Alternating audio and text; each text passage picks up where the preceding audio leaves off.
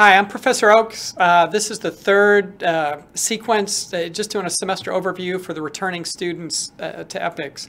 What I want to do is, is I want to run through just some of the nuts and bolts things, uh, some of these just refresh your memory. Um, make sure you check the schedule. Uh, most of the, the rooms and the times have, have stayed the same, but if you go to the EPICS website under um, schedules, you can see that the spring 17 um, schedule that some of those have, have uh, changed. If you're wondering, uh, I will warn you that some of the advisors and the TAs have changed. So you can go to that and actually see who your advisor and your TA is.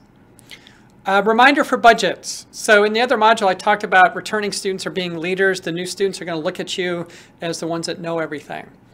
Uh, one of the things that I heard a lot of teams say is that they had a budget of $200.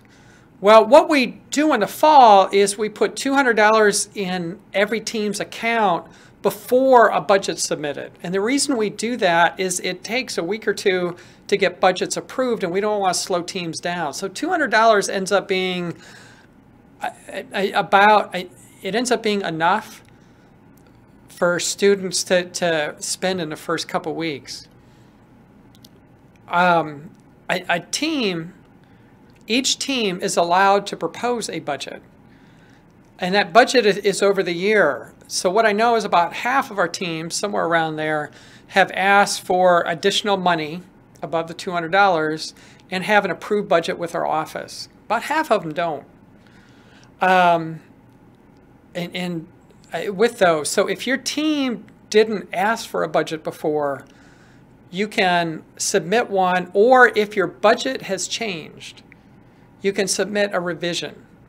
We do budgets on a yearly basis because I have to do budgets on a yearly basis. So we get money from Purdue on a yearly basis, and our corporate sponsors give us money once a year.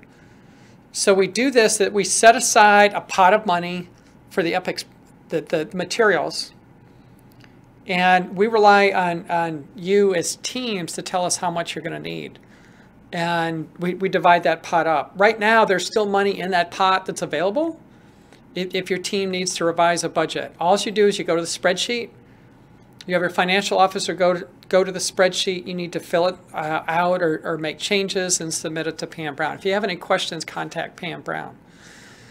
Now, what a lot of you did, which was great, is applied for service learning grants.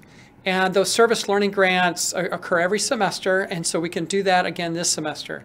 So if you didn't spend your money from last semester for the service learning grant, it went away.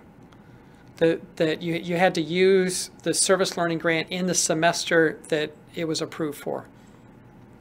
If you have a project that's going to take um, a substantial amount of money, uh, you, we, can, we encourage you to apply for a service learning grant. What's that substantial amount? If you're thinking, if, if it's enough to, to put a grant together, we would encourage you to, to do that. The provost office has that money available for service learning.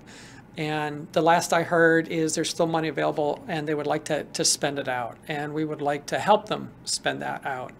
Um, the service learning grants are on the, the website there where you'll see that in the, the email. Um, and, and please submit that. If you do submit one of those, please let Pam Brown know, uh, just so we can track them in our office because they go into to an account. Um, setting a tone for this fall. The other module talked about the first week and, and really setting the tone. Um, as, as we get past the, the first week, Remember semester plans, um, get started on that right away. They're due week four. That doesn't mean the first draft is due week four. You should have it finalized. Our theory, and, and this is why when, when I look at students that have been in EPICS before, you might say, well, that's not how our team worked before. The idea is that the semester plan becomes your grading criteria, that that's what you're saying the team can get done this semester and you really want to work with that. Get a draft to the advisor so you can iterate, but make sure you have that finalized and, and are working on it in week four. And please, if your project manager design leads, put the project plan, the, the semester plan up each week and, and show the progress. Use uh, develop the plan and, and use that. It, it's intended to be a, a, tool to work for the semester. Uh, we still have two design reviews. The first design review is week seven, which is February uh, 20th, 24th. Remember, we want each team to invite at least two Purdue people. Um, one of the, the challenges that we've had with, with so many teams and so many students that bringing in enough design reviewers in person has been a little challenge. We're working on that.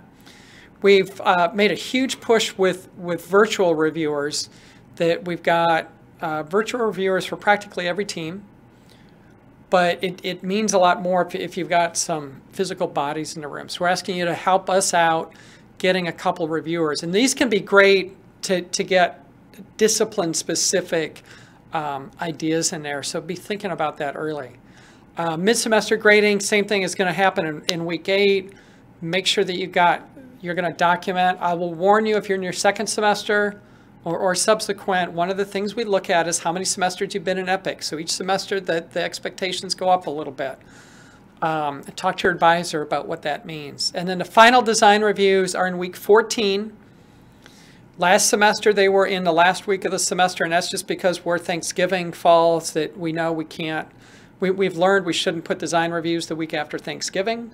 So they were the last week of the semester. This time they're in week 14. So you're going to have design review and then you're going to have one more lab meeting after to, to finish the semester.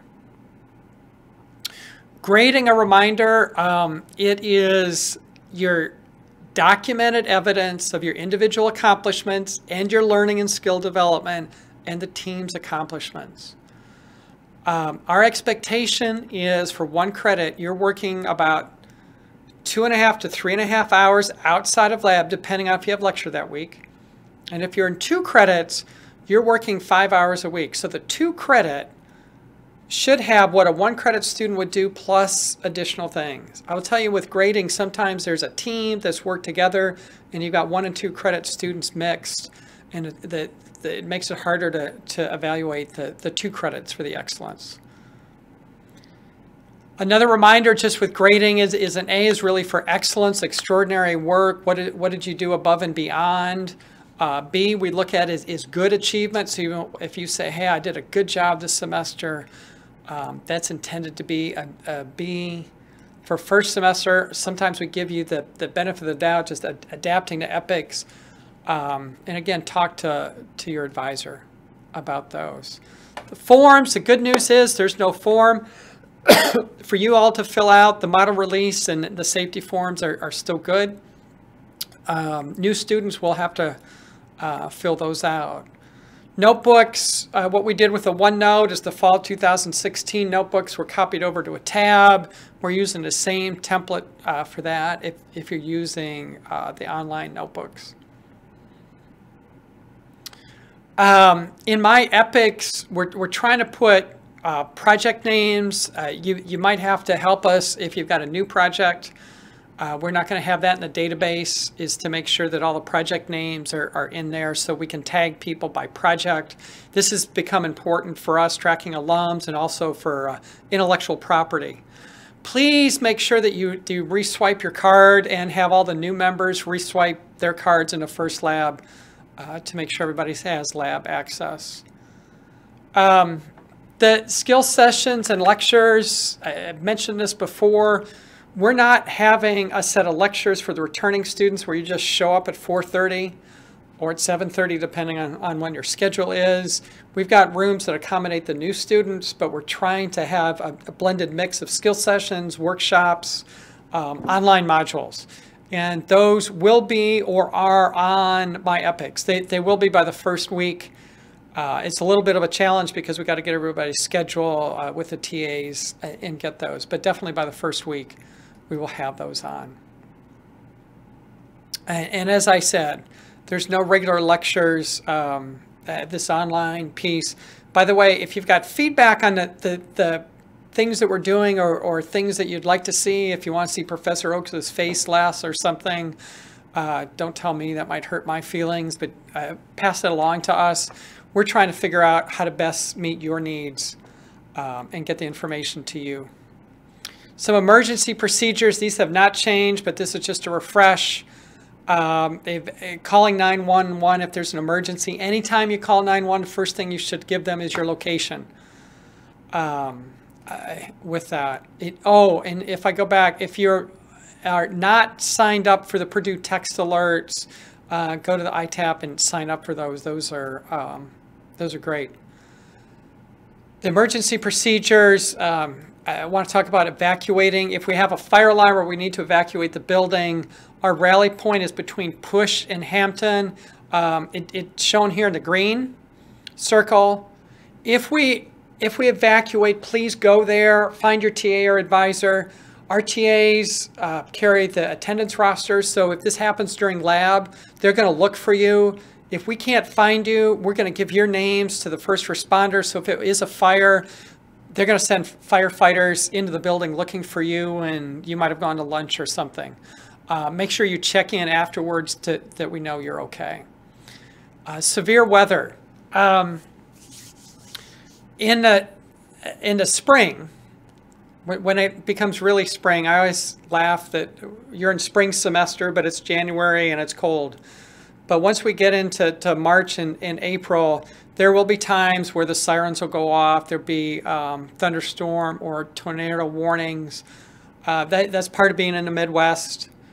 Um, if, if you hear the sirens, what you do is you go downstairs to the basement um, and, and wait for an all clear. Uh, they, they happen, they're usually nothing, but you don't want to take a chance. So if, if you see the sirens, um, uh, let's get down. If you, you hear the sirens, and, and this is why the text alerts are, are, are very helpful. You, you hear the sirens outside, go inside. Um, if it's a um, hazardous chemical something, I've never had one of these, but you want to look at where you go. For weather, we always go to the basement. If it's a chemical something, we might go to the basement or we might go to the top floor. Um, but just if you, if you hear the sirens and go inside, listen to the other people that are directing you. If we do have something where uh, there, there's a problem on campus where somebody's doing harm, uh, you want to get into a lockable room. Um, our, our TAs can lock all of our classrooms and the advisor. Um, basically, you want to look, make it look like the room, lock it and make it look like the room is empty, um, and uh, call 911 uh, discreetly. Come to the end of the modules, and, and I, I'm so excited. Uh, when you're watching these, I will actually be over in India training other faculty on, on how to do EPIC, so I'm going to miss the first couple days, but, but I'm looking forward to, to the semester. While we have more students than we've ever had, we still have room. Um, if you've got friends that want to join, have them come in and talk. We don't have space in every team, but we do have room. Especially, we're looking for more juniors and seniors. We've got um, the opportunity. Please complete the, the uh, questions in my epics, the, the little what did you learn box so you can get credit for these. And hey, make a difference this semester. Thank you.